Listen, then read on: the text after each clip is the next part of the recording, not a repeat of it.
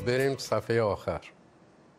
کافر دارن مشرک دارن مؤمن دارن شیعه دارن سنی دارن مطیع دارن اسیانگر دارن همه مدل ما از اجنه داریم. جناب استاد پیرامون بحث اجنده فرمودید. خب یک بحث بسیار جالبی هست چون حقیقتی هست که در عالم وجود داره.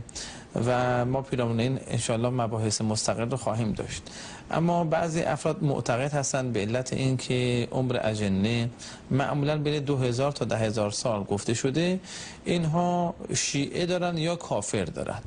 اهل سنت ندارن. دلیلشون هم این هست که به اونها که گفته میشه مثلا این خلفا بر حقن میگن کی گفتن ما زمان امیرالمومنین بودیم که دست مبارکشون رو پیامبر اکرم صلی الله علیه و آله و سلم در روز قدیر خون بالا بردن.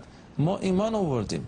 کی گفته که به اصطلاح خلفای مثلا که نام برده میشه اینها هستن. بنابراین میگن اینا سنی ندارن.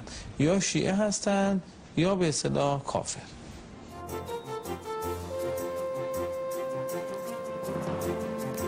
شب روزگار خوش.